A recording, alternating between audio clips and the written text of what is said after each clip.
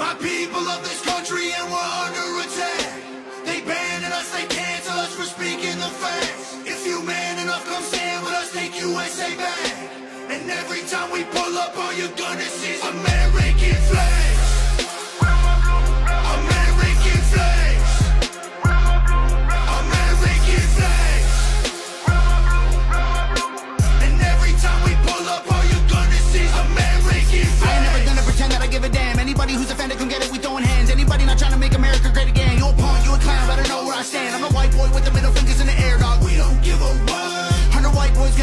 going anywhere, dog. We think that you suck. My Patriots, the craziest. They ain't afraid of breaking fists on faces if you